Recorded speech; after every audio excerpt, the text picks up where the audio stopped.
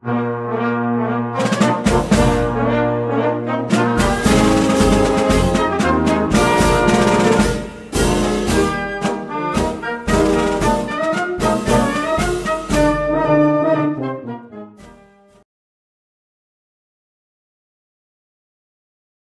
the governor's State of the State address earlier today, we heard him talk about the theme of restoring Illinois to its rightful place as the economic engine of the Midwest.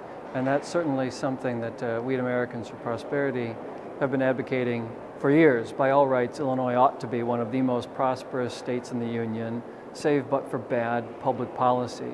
Uh, as the governor mentioned, we need to make Illinois more competitive, and uh, the solutions to our problems need to be resolved uh, in such a way that uh, taxpayers are still treated fairly and uh, receive a, a, fair deal. And so we're looking forward uh, to working on those solutions and to offering solutions um, that, uh, again, leave Illinois taxpayers uh, in a good position because for too long, Illinois government has been mismanaged and has misspent tax dollars and uh, then looked to taxpayers to bail out their failures. And uh, we simply cannot allow that to continue happening because we've seen the results. Uh, we've seen Illinois drop to the bottom of every list that it ought to be at the top of, and we're at the top of every list we ought to be at the bottom of.